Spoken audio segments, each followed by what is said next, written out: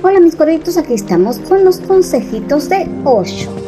El significado de la carta moralidad se centra en el hecho de que la moralidad ha restringido todo el jugo y energía de la vida en los estrechos límites de la mente de la figura.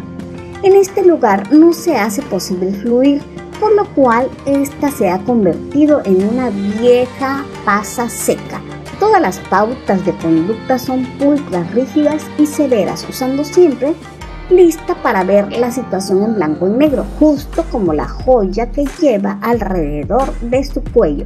La reina de las nubes se encuentra constantemente al acecho en las mentes de todos aquellos quienes hemos crecido, donde las ideas son rígidas de lo bueno y lo malo, no pecado y la santidad, de lo que es aceptable y lo que no de lo que es moral y lo que está inmoral.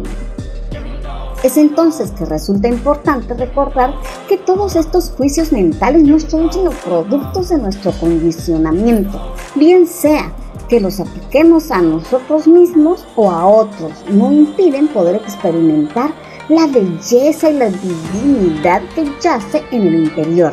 Solo cuando logramos atravesar la jaula de nuestros propios condicionamientos y nos embarcamos a la búsqueda de la verdad de nuestros corazones, podemos comenzar a ver la vida como es en realidad.